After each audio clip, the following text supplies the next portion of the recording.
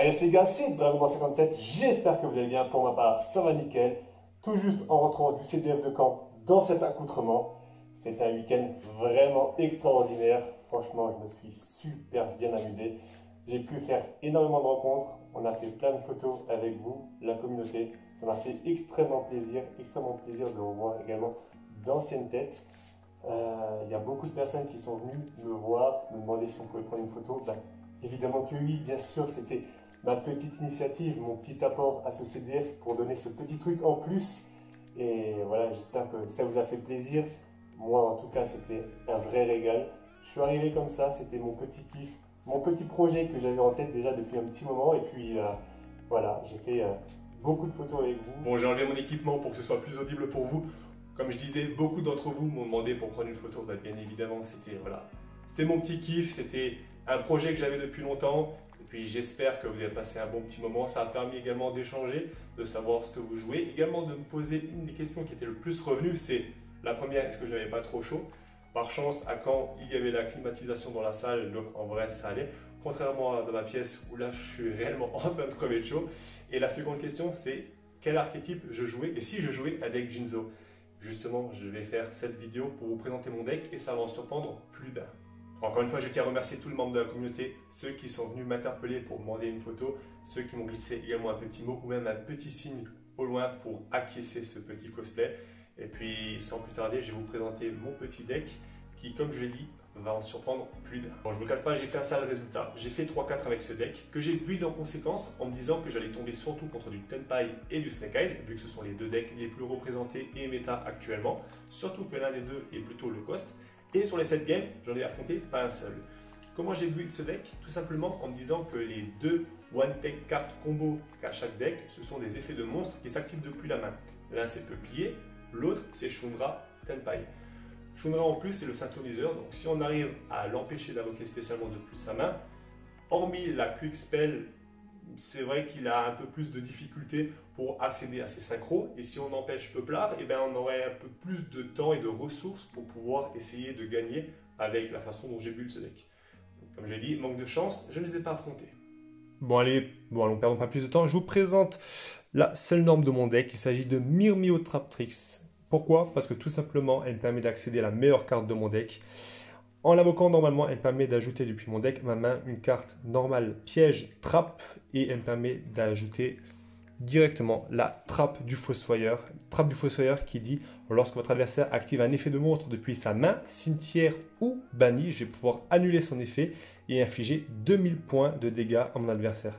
Et justement, contre des cartes comme Peuplier, Snake Eyes ou Shundra Tenpai, et eh ben c'est tout simplement euh, très fort. Alors il y a d'autres decks évidemment qui ont des cartes qui s'activent depuis le cimetière, à la main au bannissement. Hein. C'est un peu tous les decks qu'il y a actuellement. Mais c'est vrai que contre ces deux decks-là, précisément, j'ai voulu à tout prix negate et empêcher mon adversaire de pouvoir les jouer. Du coup, ça, je trouve que c'est très fort. Vu qu'on joue un deck piège, anti-méta, pas beaucoup combo, puisque aujourd'hui tous les decks méta jouent à peu près 75 untrap, et eh ben on part sur du Dimension Shifter, qui est pour moi la meilleure trap du format, tout simplement. Euh, quand je la joue en stand-by, généralement mon adversaire soit passe tour, soit fait vraiment un tour très faiblard, ce qui me permet moi de gagner du temps, et du temps, j'en ai besoin. Ma deuxième end trap, c'est tout simplement ma petite fantôme défunt et fraîcheur lunaire, donc Chill Moon. Quand mon adversaire invoque spécialement un monstre, je vais pouvoir défausser cette carte, annuler son effet, et s'il quitte le terrain, mon adversaire prend autant de points de dégâts que le monstre a de points d'attaque. Contre Flamberge, par exemple, ça c'est énorme. Mais encore une fois, je l'ai dit, je n'ai pas affronté de Snake Eyes. Euh, ensuite, on joue un playset de Seigneur Prison Divine. C'est très fort, ça protège toutes nos magies pièges qui sont face verso sur notre terrain. Et puis cette carte, si elle a été révélée dans notre main et qu'on a et qu'il y a une carte piège qui a été activée, on va pouvoir l'invoquer spécialement et poser depuis notre deck n'importe quelle carte magie piège depuis notre deck. Donc en fait, c'est juste énorme. Ensuite, en dernière pseudo trap, on a deux Mahama, le dragon féerique. Quand notre adversaire nous attaque, donc durant son tour, si on subit des dommages de combat, on va pouvoir l'invoquer spécialement depuis la main, soit on va faire son premier effet qui est de gagner autant de points de vie qu'on a perdu de points de vie. Ce qui ne nous intéresse pas, le deuxième, c'est de burn notre adversaire du même nombre qu'on a perdu de points de vie. Et ensuite, on joue une petite base Kashtira. On joue deux Fenrir, deux licornes et forcément la euh, magie pour invoquer spécialement depuis le deck. Voilà, tout simplement pour avoir un petit backup. Euh, si on a euh, licorne qui est sur le terrain, et eh ben on va pouvoir gérer également une carte de l'extra deck de mon autre adversaire. Donc voilà, c'est pour moi la petite base qui faisait le café. Ça me permet également de partir sur des X6 rang 7. Et franchement, ça m'a fait game une fois. La seule autre magie qu'on joue, c'est frappe en chaîne.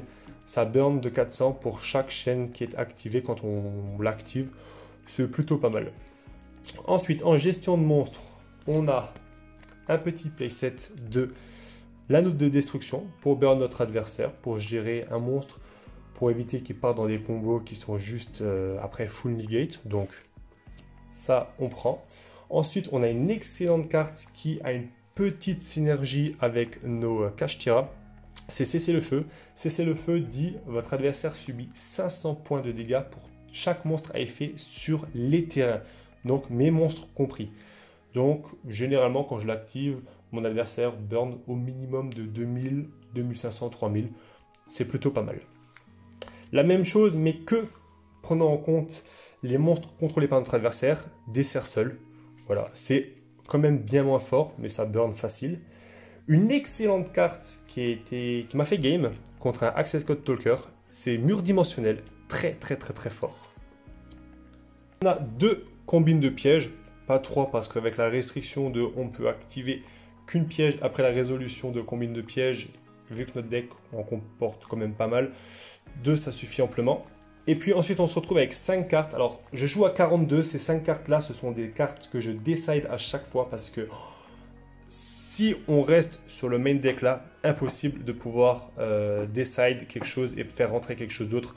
Sinon, on touche à la stabilité et également euh, au burn. Et du coup, ben, en fait, on, on gagne tout simplement pas. Du coup, je fais rentrer deux explosions de la mauvaise chance c'est comme un anneau de destruction, sauf que c'est bien plus nul.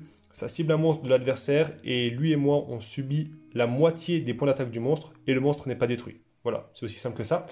Et ensuite, on a un playset d'une carte qui coûte la peau du zob parce que ça fait très longtemps qu'elle n'a plus été reprint. C'est Tonneau Secret. Notre adversaire va être infligé de 200 points pour chaque carte qu'il contrôle et carte dans sa main. Généralement, ça fait du 1200, 1400 au mieux.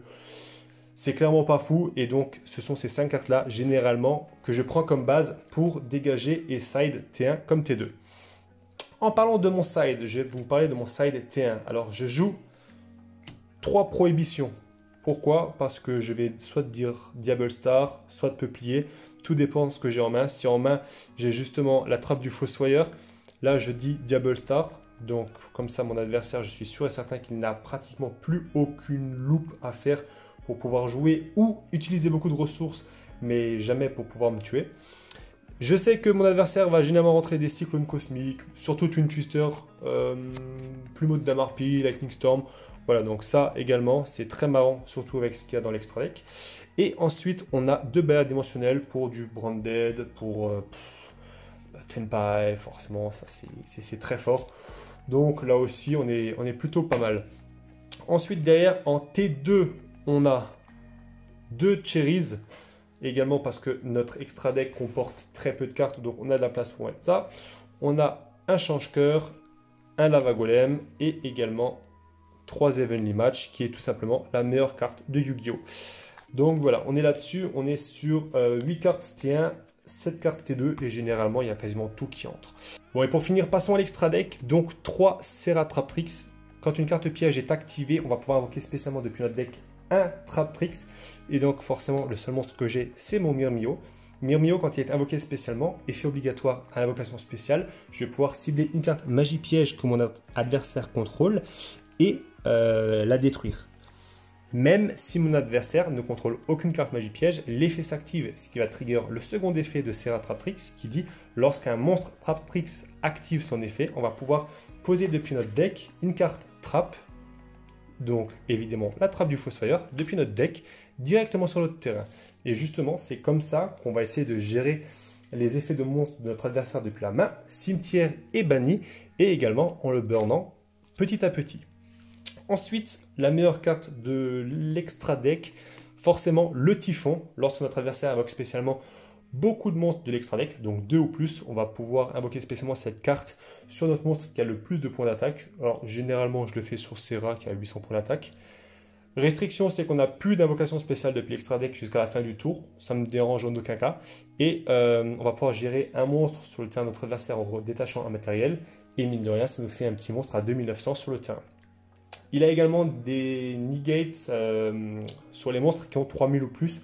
Mais en vrai, c'est juste, je le prends pour euh, gérer le, board adverse. Ensuite, en X6, rang 7, vu qu'on joue cache Tira, T1, on a le Red Eyes métallique pour burn de 500. Je vous cache pas, je le jouais pas parce que je préfère largement avoir les deux cache Tira qui ont chacun leurs effets de ban.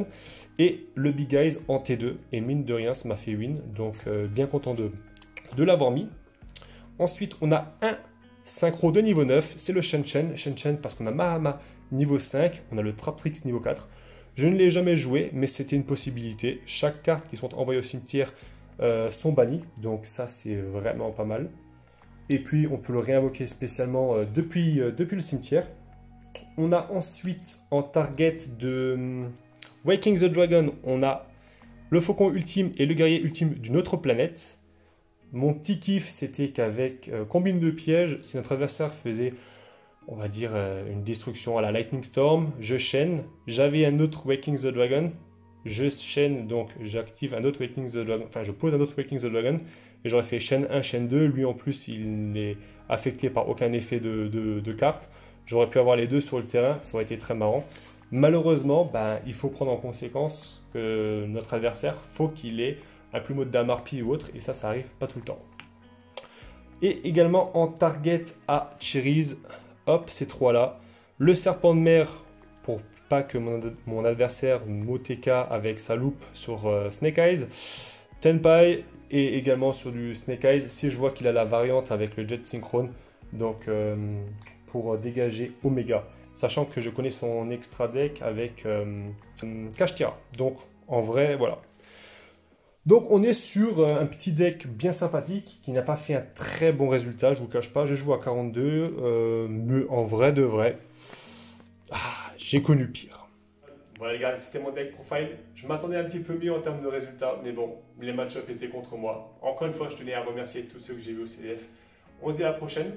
Quand Je ne sais pas. Mais bon, c'était DB57 au manettes.